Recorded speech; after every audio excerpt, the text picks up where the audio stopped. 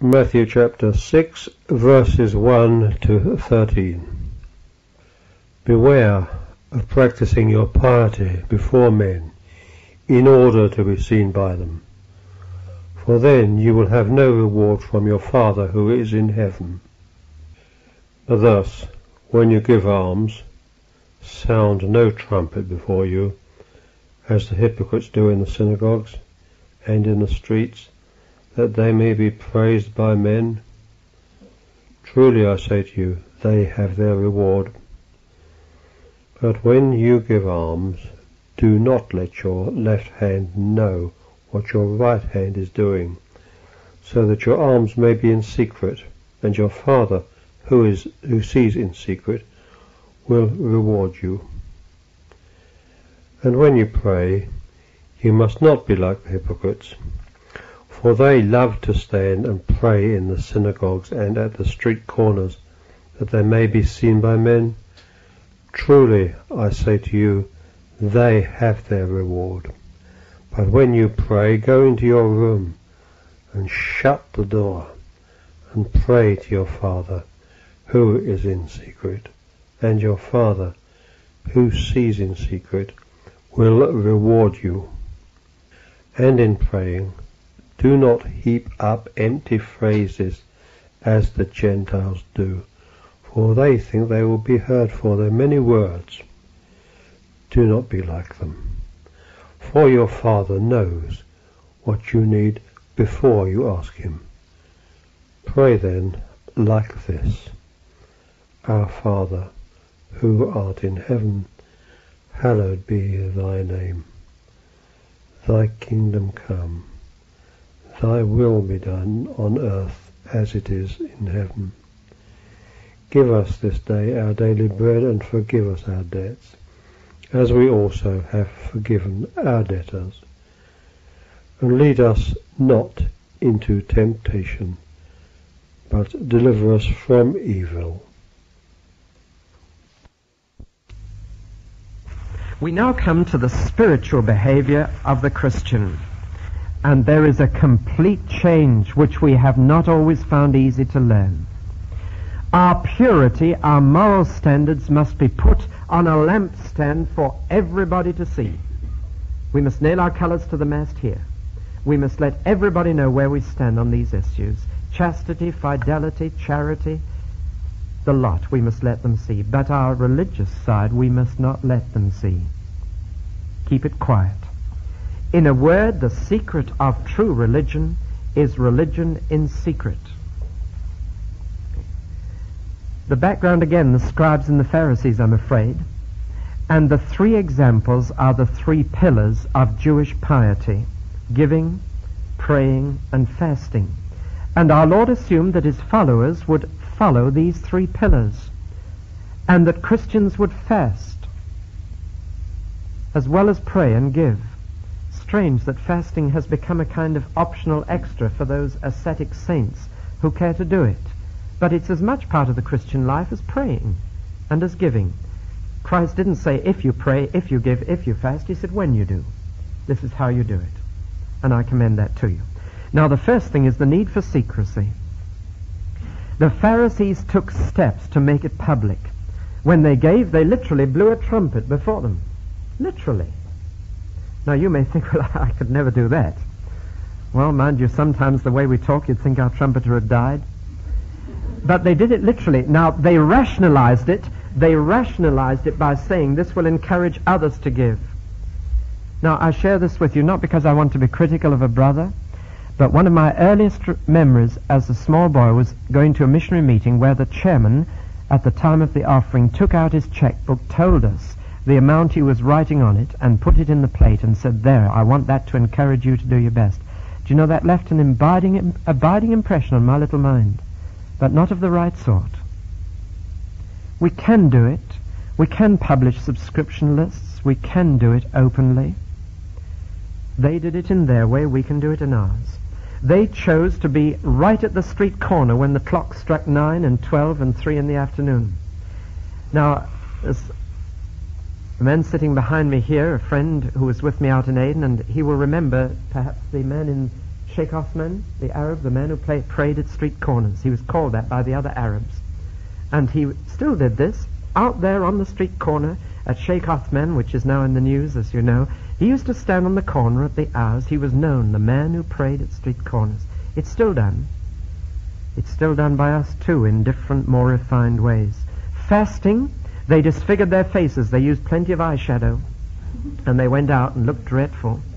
People said, uh, Are you ill? Are you feeling well? And, Oh no, I'm fasting. You see, it's Lent. I'm doing without sweets.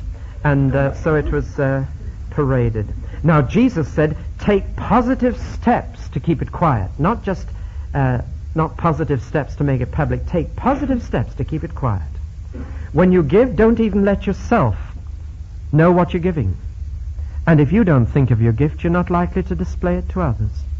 Can you forget the gifts you give? That's a happy memory. It was said of one great saint that he always forgot a good turn he did, but he never forgot a good turn he received. That's a lovely memory to have. Don't even let yourself know. When you pray, deliberately get away from others if it's at all possible. Edward Wilson used to climb into the crow's nest of the Terra Nova in the Antarctic expedition and got right away from them. Fasting, while you put your best clothes on and look fit and healthy. Now, dare we apply this to ourselves? I'm going to be very direct here and raise questions which could cause furious discussion. And uh, you've got discussion groups, but I hope by the time you get into them you'll have forgotten this. But may I really be direct on this? I do not believe it is good advice to tell a Christian who's going into the forces to kneel down by their bunk the first night. I don't think that is what our Lord meant us to shine in public. I really don't. Frankly, if a man's a real Christian, the others in the barrack room will find out quickly enough from his moral standards. They don't need to see that. And the problem of mixed motives that comes when you pray before others is a real problem. I heard of a conference, a residential conference of bishops, and they all found themselves in one dormitory. And the boldest of them was the man who got up first from his knees after the, the quiet time. Now, I opened a church recently, or spoke at the opening of a church recently, and the end wall, which was on the main street, with many people passing by, was a sheer sheet of plain glass. And I noticed the whole service, people were curiously looking in. And I wondered if that was really in, in the spirit of this. I have worn a dog collar. I did for ten years. I was a Methodist minister, and I did. But I began to wonder, am I, in their minds, parading my piety? I began to wonder if that wasn't one of the reasons why men changed their conversation when they saw a dog collar. Should we really wear a badge that tells others we read the Bible? Now, I'm throwing out questions to try and show that we've got to look at ourselves and not just laugh at these people who blew their trumpets. The one part of our life that ought to be kept strictly secret is our devotional behavior. Our quiet time should be kept quiet. Now that's being very direct, but Jesus said the mixed motives that come in when anybody else knows about this and you know they know are a real hindrance. He says you will get your reward and the wording he uses means that's all you will get. They have their reward of men and that's all they do have. They've got a reputation for being spiritual, but that's all they get. But he said your father is the only one who needs to see your piety. And it's only possible to be free from hypocrisy and full of sincerity if we take positive steps towards secrecy. And the need for secrecy is really the need for sincerity. With the best will in the world, if we do a thinking, thing in front of other people, we are tempted to be aware of their reaction to what we do. Now let your light shine let your moral standards shine. Put your purity on a pedestal for all to see, that they may glorify your Father. But your religion, your piety, is between yourself and God alone. The implications of this for Christian witness are far reaching, and we need to remember them. And we need to ask at every point whether we ever parade our piety in even the most subtle form. And so I come at last to the Lord's Prayer. Our Lord interrupted here to give us a prayer which is to be the model of our prayer when we pray in private. Again, I think we are literalists when we use the Lord's Prayer on so many occasions and we, we repeat it. I always thought that chart was the next word in the second phrase of the Lord's Prayer. We said it so often as children, Our Father, chart in heaven. I know somebody else who thought God's name was Harold and for years said, Harold be thy name, just because we repeat the words ad infinitum. How often do we really understand or think of what we say when we say the Lord's Prayer? It's not to be a rote, it's to be a model. And I think if we went through the Lord's Prayer now before we pray, it might even stop us praying, but at least it would be helpful to make us pause and think. How should we pray when we've got right alone by ourselves? when we're quiet, when we're not in front of others, just to God, how should we pray? Well, Jesus practiced and preached prayer, but he never used the Lord's Prayer himself. It wouldn't have been appropriate. Forgive us our trespasses. It's a prayer he didn't need to pray himself, but it's a prayer we need to. And he makes the point, it's not whether we pray, but what we pray that matters. Not whether we pray, but what we pray. Or to put it differently, it's not the quantity, but the quality of prayer. It's not the length, but the depth. And the Greek word for much speaking is batalogio, which in Latin is blatero, which in English is blether. And the one thing that we are not to do in prayer is to blether. I presume you know that uh, term. I remember being in a prayer meeting when uh, a brother prayed for, oh, endless. We went all around the, the world and back again and prayed for everybody conceivable. And when he'd finished, somebody said, Amen, brother and I couldn't make out whether it was brother or blether. but I, I think I agreed with the latter after that prayer. Now, we do need form in prayer. Can I put it in a cliche?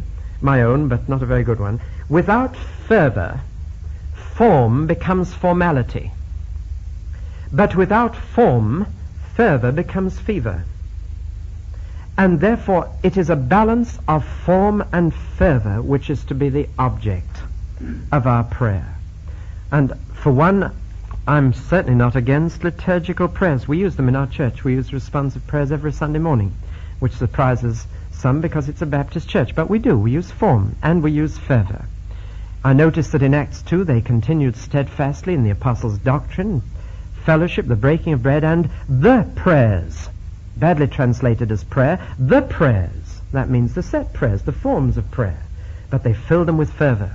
Now here is a form which can be a formality, or filled with fervor, it becomes real prayer. Notice about this prayer, it is brief. One of the first qualities in prayer. It is brief, and I've been very encouraged by the length or lack of length of the prayers here at this conference. I think it's been very commendable. We've all joined in because they've been brief. Notice that it's simple. A child can begin to use this prayer, but notice that it's profound. You'll still not understand it at the end of your Christian life. Notice that it's comprehensive. It covers everything. Notice that it's universal. It can be translated into any language and used. Notice that it's a challenging prayer. Robert Louis Stevenson jumped up from the breakfast table once and ran out in the middle of family devotions, and his wife went out after him and said, What's the matter? He said, I can't pray the Lord's Prayer today. I'm not ready. I wish we could be like that when we repeat the Lord's Prayer. Now let's look at it. The person to whom we pray, Father, it's a family prayer. Occasionally in Scripture he's said to be the father of every creature, as the begetter of every creature. More often he's called the father of the Jews. Still more often he's the father of Jesus Christ. And by adoption, our father. When a little baby in a Jewish family is taught to speak, they are taught to say Abba. It's our equivalent of Dada. And when we shout out, says Paul, not when we think, when we cry out involuntarily, Abba, Dad, it is the Spirit Himself bearing witness with our spirit that we are His children to cry out Abba. I was once in a prayer meeting in the Shetland Islands where I began my ministry about 17 years ago. And a dear old fisherman got up in the church prayer meeting and he just said, Abba, Abba. That's all he said. What a prayer. Father, to think that the eternal God who set the stars in their courses and made everything that is, is my dad. They said to Jesus once, Would you teach us to pray? They didn't say, Would you teach us how to pray? They'd been taught how to pray by their parents. They were good Jews. They said, Would you teach us to pray like that? He said, Yes. When you pray, say Dad. Abba. But lest that intimacy be abused, it is our Father in heaven that will introduce respect into the intimacy. And it is also our Father that balances the individual and the corporate. Do you notice that even when you are alone, you should say our? That will alter your petitions pretty quickly. That will affect your prayer. If you regard yourself as one of a group when you're alone in your room and you say, Our Father, we need this. When you went into your room privately yesterday, did, did you pray my or our? What a wonderful thing when we separate to go into our rooms for private devotions and we get down on our knees by ourselves and then bring the whole conference with us and say, Lord, we need this. Our need is this. Our Father, give us in this conference, even when you're alone. That's the way to pray and it corrects those selfish prayers that are to my and to me. Now we notice the six petitions in beautiful balance, three each. Three for the needs of God, three for the needs of ourselves. Thy, thy, thy, our, our, our. And you notice the order? The unbeliever comes with his shopping list to God, me, me, me, my, my, my. The believer comes, thy, thy, thy first concern in prayer is what God wants from us, not what we want from God. And you notice a beautiful pattern here. In the first three, we have Father, Son, and Spirit.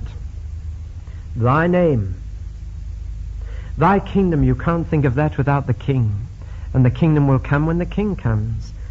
And thy will. Do you know that in an early version of the Lord's Prayer, in an early manuscript, instead of saying, Thy will be done, the phrase is, Thy Spirit be given. Because who can do God's will without the Spirit being given? So you have Father, Son, and Spirit, and then you have Father, Son, and Spirit again. Daily bread is the Father's responsibility and gift. Forgiveness is that which is obtained by the Son through his blood. And lead us not into temptation. It was the Spirit who led the Lord into temptation in the wilderness, and it's the Spirit we're concerned with to lead us out of it. Let me just look at each of these phrases a little more deeply. The name of God, as we heard last night, is the revelation of his nature. What God is. Now you see, a name doesn't mean anything until you know the person. I don't know you. Most of you I didn't know before I came here. You may have seen my name somewhere. You may have wondered what sort of a, a creature that name signified. Now you have some sort of idea, varied ideas, different reactions. But the name means more because you've just got to fill it out a bit with personal knowledge. If you're going to reverence God's name, if it's ever going to be held in awe, then people have got to know what He's like.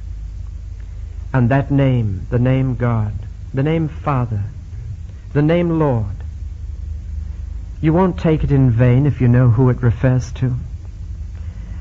A man who is in our church who works in a factory said to me the other day that he was in the factory and, and someone was taking the name of Jesus in a blasphemous way. And this Christian just turned round to him and said, Would you mind not talking like that? You're talking about someone I love. It was a lovely way to deal with it. Wasn't so much a reprimand as a request. That's reverencing the name. Oh, may, may thy name be hallowed. May people, whenever they hear the name God, pause and stand and think. Perjury, profanity, flippancy, incredulity, hypocrisy, familiarity, blasphemy, there are dozens of ways in which God's name is not hallowed. The second thing, his kingdom may come. Now, scholars have argued as to what this means. But frankly, it means two things to me. You can tell a man's theology by asking him what the word kingdom means. You can tell if he's a Jehovah's Witness too. But the word kingdom is crucial to the, your theology. And as far as I can see it humbly in Scripture, it means two things. It means a present, slow process. and a future sudden crisis. And the parables include both. And the kingdom comes as an individual enters into the reign of God by faith and repentance. And the kingdom comes when the king suddenly returns in his glory to establish peace and righteousness. When I pray, Thy kingdom come, I think of both a present process and a future crisis. When I pray, Thy will be done, it is not resentment, it is not resignation, it is resolution. There are two words for the word will in Scripture. They shade into each other in meaning, but they are distinct in their central meaning. And one means decree and the other means desire, and the word used here is desire, not decree. He wills that all should be saved means he desires that all should be saved, not he decrees. And here it is not thy decree be done, that's fatalism, that's resignation. It is thy desire be done, it's resolution. The emphasis is on the word done. Thy will be done. Let's go out and do it. That's the prayer. Give us this day our daily bread. Now, better be careful here again, hadn't I? The Roman Catholics interpret that of the sacraments. And the Douay version translates this phrase, give us this day our supersubstantial bread. Spot the deliberate mistake. It sticks out like a sore thumb. But neither is the daily bread the scriptures. And evangelicals go to the other end of the scale. It means daily bread. And the word translated daily really means, as we now know, William Barclay has revealed this in his research, it means for the next 24 hours. So it's really give us this day our bread for tomorrow. We are to live just a day at a time like that and acknowledge that our physical sustenance is a gift. Forgive us our debts. The Scots say this, I think, don't they? And we now sing it using the uh, modern tune to the Lord's Prayer. It isn't really the things we've done, it's the things we've left undone that we need to pray about here. Forgive us what we owe to you. Even when we've done our best, we're unprofitable servants. We're still poor in spirit. We're still in debt. Lord, forgive us our debts. And the condition, not the basis of that forgiveness, but the condition is that we are prepared to pass on God's mercy towards what has not been done. And finally, lead us not into temptation. That does not mean, and I would disagree here with the New English Bible, it does not mean test. It does mean tempt. And God does lead people into temptation. He doesn't tempt them, but he does lead into temptation. The Spirit led Jesus into the wilderness to be tempted. God is in control of how much we are exposed to the devil. And if we trust him, he will not let us be tempted above what we can bear. He will control our exposure to the devil. But sometimes as a discipline, he exposes us to the devil that we might learn the hard way that we are not trusting him. And this is a request to God not to expose us too much to the devil, that we might learn the easy and not the hard way to let the Holy Spirit garrison our hearts. But deliver us from the evil one. I wish we could get back to what Jesus said. He didn't say evil, he said the evil, which means the evil one. You start the Lord's Prayer with God, you finish with Satan. That's a right order of prayer. You come into God, you go out to Satan. And you need to ask him to deliver you from Satan when you go out into the world again, out of your closet. To say thine is the kingdom is an act of faith. To say thine is the power is an act of hope, and to say thine is the glory is an expression of love. To say mine is the kingdom, the power, and the glory is to fall into the very error of pride into which Nebuchadnezzar fell when he said, Is not this great Babylon which I have built by my mighty power for my majesty and glory?